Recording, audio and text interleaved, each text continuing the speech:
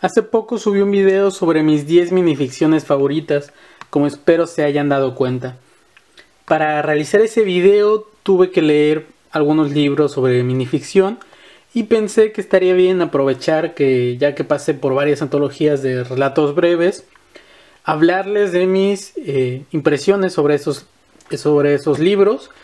Ya antes me habían pedido que hiciera un video sobre una misma obra pero en diferentes ediciones es algo así lo que, lo que quiero hacer con este video. Haré otros con títulos más exactos, ¿no? Como tengo tres ediciones distintas de la metamorfosis y ya haré un video sobre igual mis pensamientos al respecto de esas tres ediciones. Pero empecemos. Para este video tengo cuatro, cuatro libros de los que quisiera hablarles. El primero, bueno, ahora voy hablando de cada uno de ellos de manera saltada. Uno de ellos es El libro de la imaginación de Edmundo Valadez. No sé si conozcan Edmundo Valadez. Es un autor mexicano. Tiene una, bueno, tuvo, porque ya no, ya no se edita. Tuvo una de las revistas más importantes con respecto al tema del cuento y también importante como una gran antología de cuentos que se llamaba precisamente El Cuento, revista de imaginación es muy buena, se encuentra en línea de manera completamente gratuita, pueden bajar los PDFs. Ahí van a tener horas y horas y horas de lectura, porque son muchísimos, muchísimos tomos de, esta revista. Es quizá la, una de las mejores antologías del cuento que se han hecho no solo en el siglo XX, sino que se han hecho en toda la historia. Realmente es una antología muy, muy rica y es extraordinaria para comprender el fenómeno del, relato. Además de esa revista, Edmundo Valadez hizo esta compilación, esta antología, con la cual yo hago un poco de trampa porque no es precisamente una obra de minificciones, eh, aunque las hay, hay algunas, sino una antología de fragmentos, de fragmentos que pueden funcionar de manera autónoma. Hay aforismos, hay sí alguna que otra minificción, hay fragmentos de novela que podrían funcionar en solitario, pero en fin, es, es un grandioso libro. Otro de los libros, el otro libro que tengo en físico, mejor dicho, porque hay dos que no cuento con ellos de, no cuento con ellos en físico, los tengo en, en formato electrónico, es el microrelato, teoría e historia y está hecho por David Lagmanovic. Eh, son pocas las minificciones que, que antaloga Lagmanovic, sobre todo las utiliza para ejemplificar algunos de los aspectos que él considera esenciales de este género, pero también creo que es un libro a considerar. Los otros dos libros que no he podido, que no puedo mostrarles porque los tengo en electrónico son eh, Cuentos breves y extraordinarios que es una antología realizada por Bioy Casares y Borges, y La mano de la hormiga, eh, que es una antología muy buena, bastante completa, eh, realizada en España. Su autor es Antonio Fernández Ferrer.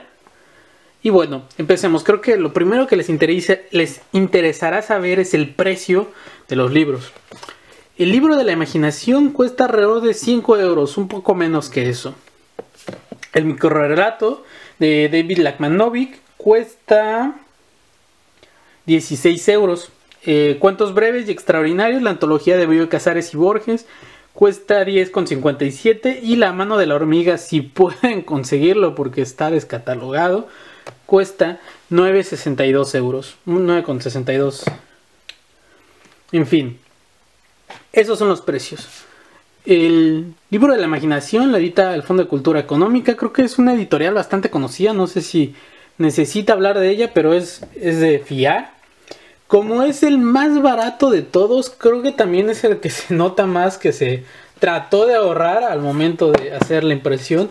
Tiene este tipo de letra, no sé si van a alcanzar a verlo, pero es este tipo de impresión que uno hasta tiene miedo de pasarle el dedo porque siente que se va a borrar lo escrito. Eh, se editó hace poquísimo, creo que este año precisamente, en el 2015, sí. Tiene 274 páginas. El, el microrelato de David, eh, le quiero decir, David Lagmanovic, se editó en el 2006 por Ediciones Menos Cuarto. No conocía ese editorial. Y Es el único libro que tengo de ellos. Tiene 347 páginas, pero ya he dicho la mayoría. La mayoría de las páginas de este libro son de teoría, de teoría e historia.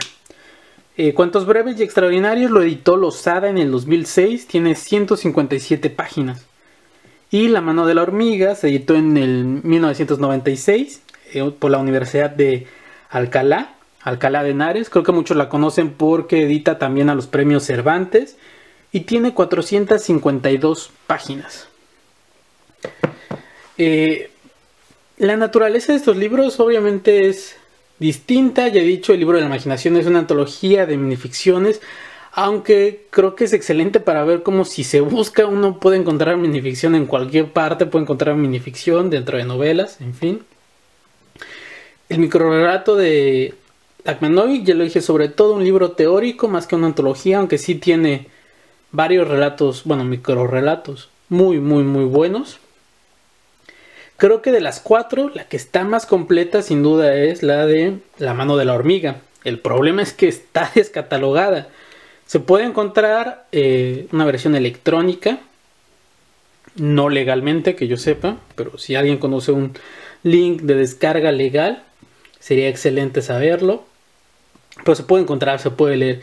Es la más completa de las dos, pero también por el mismo motivo de que antaloga muchísimo, creo que a veces hay algunos de sus textos que quizá no son tan buenos, que no mantienen la calidad de resto.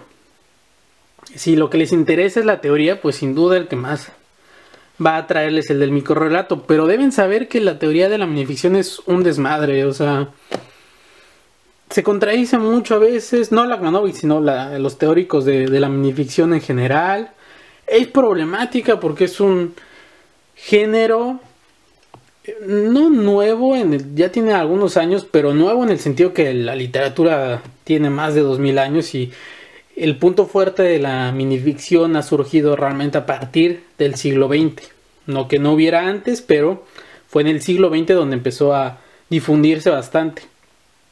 Entonces, al ser un, género con pocos años, aunque hay algunos especialistas, Zavala, el más reconocido, sigue siendo problemático a la hora de clasificar. Digo, la novela tiene ya, si consideramos que el Quijote es la primera novela moderna, pues ya tiene unos cuantos cientos de años y aún así sigue presentando problemas de qué es una novela, que si la novela está muerta, como, como muchos críticos dicen, que no es cierto.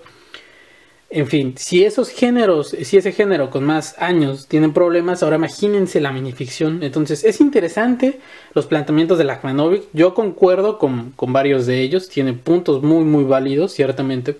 Pero creo que sí es importante señalarles que si les interesa la teoría, creo que no deberían quedarse solo con un libro. Aunque el de Lachmanovic es una buena recomendación. Y el de Borges y Bioy Casares, creo que su mayor atractivo es. Eh, que se realizó con prontitud, en el sentido de que surgió de manera temprana, ¿no? este, comparándolo con el libro de la imaginación, el relato y con eh, La mano de la hormiga. No sé si, si sea una de las primeras, pero sí por lo menos eh, tiene bastantes más años que los libros antes citados. Y creo que ese es un, parte de su valor, ¿no? En un sentido histórico. Porque si bien hay algunas obras interesantes y buenas dentro de esa antología, es también una antología con menos eh, casos que el resto de los libros. También hay algunos que son sospechosos en el sentido de que Borges y Bioy Casares dicen que pertenece a ciertos autores, cuando lo más probable es que sean minificciones escritas por ellos, bajo seudónimos. Entonces es también una obra truculenta. Ya he divagado mucho, quería que este video fuera más corto. Así que si me preguntan a mí cuál de los cuatro libros les recomendaría, les recomendaría sin duda el libro de la imaginación. Si bien eh, los materiales con que se ha editado quizá no son los mejores, creo que es un, libro maravilloso, es hermoso. De verdad, los textos que escoge Edmundo Valadez son extraordinarios, son geniales, todos ellos. Yo digo que es uno de los perfectos relatos de libros cuando. Uno de los perfectos regalos, perdón. Eh, de libros, cuando no sabes qué darle a alguien, porque esa persona ya tiene muchísimos libros. Eh, quizá no tenga el libro de la imaginación porque creo que es un libro que no muchos conocen. Es una maravillosa antología. Creo que también es una es un excelente libro para tener un primer acercamiento a la literatura porque es muy fácil de leer, como son textos tan breves. Eh, uno puede leyéndolo poco a poco, no hay prisas, uno no se pierde o se enreda en la trama o en distintos personajes. Y también es una excelente forma de descubrir la literatura fantástica porque muchos de los ejemplos de este libro son, son ejemplos fantásticos. Entonces, por su precio, por la cantidad de textos que incluye y por la excelente selección de Edmundo Valadez, Edmundo Valadez tuvo muchos años de experiencia detrás de su revista y creo que aprovechó muy, muy, bien esa experiencia para hacer esta antología. Por todo eso yo creo que si se quieren acercar a la minificción y en general a la literatura breve, a las formas breves de la ficción, yo recomiendo el libro de Edmundo Valadez. Si les gustó este video y quieren que haga más comparativas entre distintas ediciones, eh, díganme en los comentarios, díganme qué obra les gustaría que comparara, de ediciones, entienden, o de distintos títulos. Y nos vemos en el siguiente capítulo.